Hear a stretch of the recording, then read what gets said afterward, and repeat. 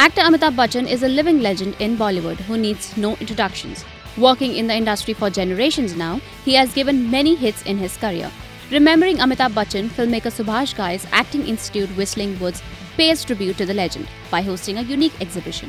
Son of Amitabh Bachchan and an actor, Abhishek Bachchan inaugurates 75 Frames, a rare collection of Amitabh Bachchan's photos, which shows the journey of Bollywood Padshah. On work front, after a long break, Abhishek Bachchan's film Manmarziyaan recently hit the theatres and are getting great reviews from the audiences. Directed by Anurag Kashyap, the film also stars Taapsee Pannu and Vicky Kaushal in the lead. IANS Report. Subscribe to our channel. Just click on the bell icon for all the latest updates.